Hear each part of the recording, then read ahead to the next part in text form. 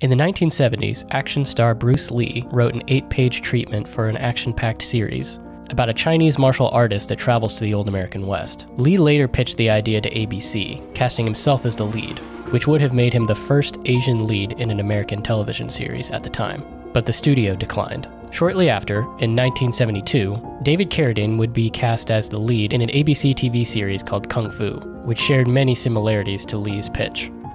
Lee passed away the very next year, and that eight page treatment was probably tucked in a drawer somewhere and long forgotten. Until, 50 years later, Shannon Lee, his daughter and head of his estate, would fish out her father's script, dust it off, and pitch it once again to several different networks. After half a century, in a time slightly more tolerant of a different perspective, her father's vision would finally see the light of day.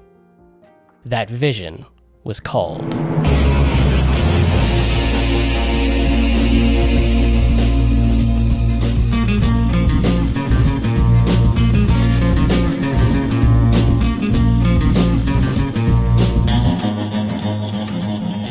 Warrior is a historical fiction tale about the seedy underbelly of San Francisco in the 1870s, which was a period of racial tension between the Asian and Irish working class. The story centers around Assam, a Chinese immigrant who migrated to America in search for his sister who fled to California to escape her abusive warlord husband. It turns out that Assam here is a master of kung fu, which of course gets him into all kinds of trouble, but also makes him quite popular. And it also turns out that his sister has sort of become a warlord herself, and the leader of the rival Tong that he just joined. Uh-oh, Spaghetti-O! In case you don't know, because I definitely didn't, a Tong is a Chinese association or secret society in the US frequently associated with underworld criminal activity. Basically, it's a gang, but a kick ass gang with Chinese warriors. And this city's got three of them, all with their own schemes and agendas. We have a rival gang?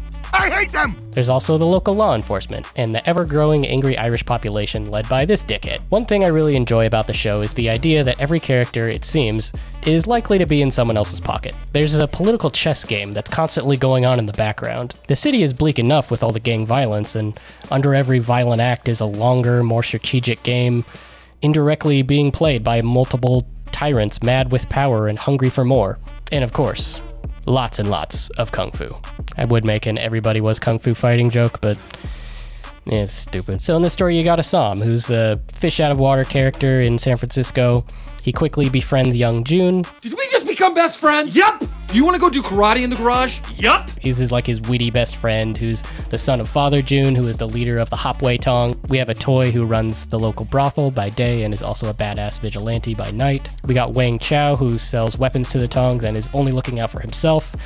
He's the best character. Uh, let's be real. You hear me, writers? He's the best character. The best character. best character. you also got the mayor and all the people that are in his circle. You got Leary and his crew, and oh yeah, you got Johnny Law in the form of a classic rookie and seasoned buddy cop combo. And I somehow love them all. Except him, he can kick rocks. I had no idea the show existed. Someone just recommended it to me recently through word of mouth. Uh, I had never heard of it other than, you know, the thumbnail popping up on the Max homepage. I haven't even I haven't seen any marketing for this series. What's even weirder is that while watching this show, I didn't recognize a single actor. There was never a moment when I said to myself, "Hey, that's that guy from that movie," or "Hey, she's from that commercial," which is kind of refreshing not to see the same like four people, the same like four faces show up in like every single TV show. It's kind of nice not seeing Chris Pratt play everybody. I know that's not something that can really be helped, but it was just another thing that adds to the experience, I think, and the immersion. The show happened to come out at a pivotal time around the pandemic where there was a surge of Asian hate in our society. And it was cool to see a story all being told by Asian voices uh, actors, writers, directors, producers. The show sheds so much light on something that isn't really talked about enough in Western media, and that's the historical racism towards Asian people in America. There's also a very prominent female perspective. Atoy, Mai Ling, Penelope Blake are all wonderfully written characters and add even more of a different voice and view of America beyond what we typically see from this time period. The show kind of just has everything. I mean, the casting is great, the cinematography is awesome, the performances are great, the writing is solid, It has a little something for everyone. and that song, oh my god, that song.